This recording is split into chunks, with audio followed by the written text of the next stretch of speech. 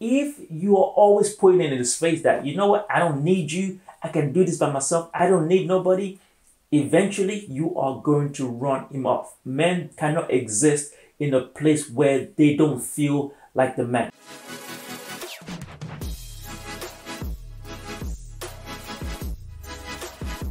What is going on guys? Josh LoveTalk here back with another dating video.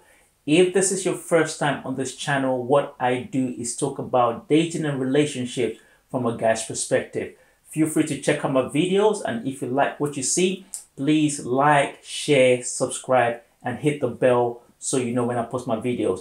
If you've been rocking with me for some time now, you already know what's happening. So let's get into it. Today's video, I am talking about six things men want from a woman. Six things men want from a woman. And I want to say that this this video is for the matured folks. So um, it's for those that introspective, those that you know want to self-reflect and look at the way things are happening in their dating or relationship situations and would like to improve it. So let's get into it. The number one thing that a man wants from a woman is respect. Okay. For me, I would say that respect to a man is what love is to a woman. So, you know how most women love to feel a certain type of way when we compliment you, when we buy you flowers, take you on fancy dates, when we do all these romantic things, the way you feel, that is what respect is to a man. That's how a man feels when he's respected. And if you're going to ask me, what does it mean? Because at the end of the day, both men and women want to be respected or need to be respected.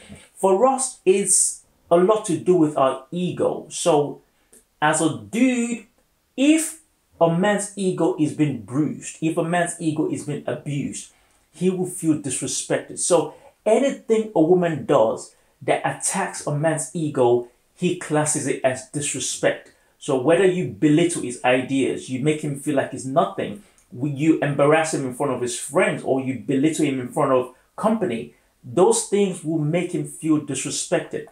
And when a man feels disrespected, he doesn't feel like the man anymore. When a man cannot feel like a man around you, he will find somewhere else he can feel like a man. Okay, so if he's with you and he doesn't feel like a man, and but he feels like a man at his job, that is where he's going to spend most of his time. If he feels like a man when with his friends, he will spend most of his time there. If you feel like a man with another woman, with another woman um, from work, friend is is being more feminine, is being more respectful, he will go there and spend more time with her, and that can lead to many other things. But what you sh- what you need to know is that a man needs to feel like a man, and the way he does that is when he is respected. When a man is respected, he feels loved. And when he feels loved, he is going to stay with you, he is going to appreciate you, and in most cases, he is going to reciprocate the same thing. The second thing I would say a man needs is he wants to feel needed. If a man comes around you and he sees that he cannot fit in anywhere, he cannot fit in, um, it, it doesn't have a place in your life, he is not going to stick around. We need to feel like a man wherever we find ourselves. So if you've got your own money, you've got your own house, you've got your own car, you don't you can pay all your bills. Even if your house has been robbed, you have the capacity to disarm the person. You can do everything by yourself. You don't need a provider, you don't need a protector, you don't need anything. You don't need anybody to profess their love to you. You can do it all yourself he is not going to want to stay in that situation. And I know some women feel like, well, men are intimidated by success. The way we men are wired, we just want to feel needed. Okay, we want a place where we can be a man, where we can show our masculinity. If that place doesn't exist, then there's no point being there. What am I going to be? Your doormat or your, your sofa? You know? So a man wants to be where he is needed. If you are an independent woman, and there's nothing wrong with that, by the way, I'm not saying anything is wrong with being accomplished or, be or being successful as a woman. I think that's a great thing, and you should strive for that. At the same time, I would say leave room for where a man can handle business. So, what I mean by that is take a stance where I can do this by myself, but you know what? I'll let you do it. I'm happy to pay all my bills, but because you're here, I'll take 30, you take 70, or even if it's 50 50, whatever. But as long as he can do something in that relationship where he is the protector, he is the provider, he's professing, then he can feel like a man. If that makes sense. Once again, all this goes back to a man's ego. If you are always putting in his face that, you know what, I don't need you, I can do this by myself, I don't need nobody, eventually you are going to run him off. Men cannot exist in a place where they don't feel like the man. So that's the second point. A man needs to feel needed. The third point is a man wants a woman that he is physically attracted to. This one is always kind of contentious because, you know, what is definition of physically attractive? It's not my place to tell anybody what size is ideal, what shape is ideal, what height is ideal. You know, different people want different things. I know what I what I'm physically attracted to in a woman. It might not be the same for the guy next door. But whatever it is, it's so important for you as a woman to invest in the way you look because we men are visual creatures. We are moved by what we see. Okay. When you're when you when when he started talking to you, believe it or not, it wasn't your amazing personality that made him walk up to you. It was the way you looked in that dress. It was that top you were wearing. It was the way your makeup was all, all nice and, and, and, and good. It was the way your hair was did. So pay attention to the way you look. A lot of relationships, especially marriages, because it's long term, it's easy to get complacent. They lose the source because there's no physical attraction. Because everyone's going complacent. It's now, you know what? I'm here now. What are you going to do? You're going to leave? No. So you've gone complacent invest in the way you look. When a man is physically attracted to you, trust me, it's a different vibe. It doesn't matter that Charlene is is twerking on Instagram. He doesn't care because he, he knows I've got somebody in the house that looks the way I want her to look. You know what I mean? And of course, with physical attraction comes sexual activities because if it's drawn to you, then you know it's going to go down. But when a man is not attracted to you, you just become more like a, a nice to have. And also, when he's attracted to you, he will show you off. Ego. The way women are wired, our ego means a lot to us. When a guy finds you attractive, he wants to show you off to anybody. Listen, all of this, I don't do social media, all of that. It doesn't matter. If he finds you extremely attractive, it feels it feels like my woman is trust me, he is going to show you off to the world. He will take you everywhere with him. He wants everybody to see that this is my woman.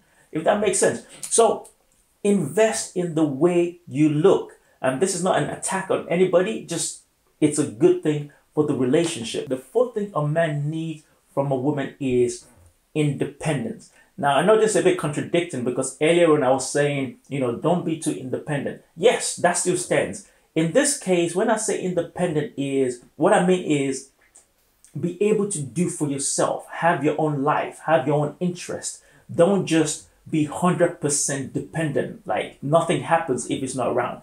Because as men, we also want to have that confidence in you that if for whatever reason I'm gone, my kids are going to be okay.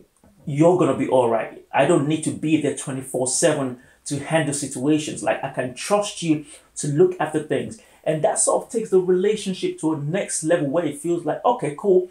She's able to take care of business and that can help, that can give him the confidence in terms of making you his wife, starting a family with you because it's pressure when you know that if I'm not around, she can't do anything, you know. Um, because we need space as men, we need space, we need peace, we need room to think, we need room to analyze and strategize and, and push things forward. Having a woman that is 100% de- dependent is distracting. It's it doesn't help our situation, doesn't help our cause. don't get it wrong. I'm not saying there, of course, there is a place for coming together, sharing, talking, and spending time together. I'm not saying, you know, that, that should go amiss, but also balance it out being by having your own thing, doing your own thing, so that he can do his own thing, and then both of you can come together and share experiences. I feel this is how relationship grows. When you're smothering a man, when because you don't have a life of your own. Every time it's out for a long period of time. Where are you? When are you coming home? It gets tiring. You become a nag, really. Like you become, you know, it's it's not attractive. Is what I'm trying to say. So be independent. Have your own thing going on. Don't lose your friends because you found a relationship. Don't say, you know, I'm no longer hanging around with you guys because I've got a man. That is a bad move. Okay. Keep your friends, have your life, have your interest, develop more interest, start doing things for yourself because these things make you more attractive um, to the guy. And we men need it because we need space, we need our peace, we need things, we need time to do guy stuff. Hang around with the guys, go to a bar, play video games, and all of this thing. The fifth thing a man needs is that a man needs a woman that can add value to him. If you cannot add value to a guy's life, you would be seen eventually, irrespective of how you look. You could be the most beautiful woman in the world. If you cannot add value to his life, eventually you'll be seen as a liability. Or he would have so much power that he would abuse you. So uh, when I say abuse, I'm not necessarily talking about physically, but because you don't, you're not bringing anything to the table. So he can get somebody else that looks good. He doesn't have to be faithful to you. He doesn't have to stick with you. You are very disposable because you are not bringing anything else to the table. For a man to value you, he has to see you as an asset. And the way you can be an asset is adding value to his journey. We are, most men are on our way somewhere, you know, finding our purpose, working our purpose, and trying to get to where we would like to be the last thing you want is a woman that distracts you or takes you away from that. We all want a woman that can push us towards our purpose, a woman that can support, a woman you can open up to her and say, you know what, babe, I'm going through this, I'm feeling discouraged, I'm doubting myself. And she can say, you know what, I trust you, you've got this. That counts for a lot, you know, that that's a big deal. Or a woman who can share her experiences, who she's getting her, she knows how to do it, she's got connections, she's got things, and she can bring that to the table to help his ambitions. That is what makes you valuable. So invest in yourself so that you can add value. And the better you are as a person, the better value you'll be able to add to your relationship. The last thing I want to talk about that men want from a woman is appreciation.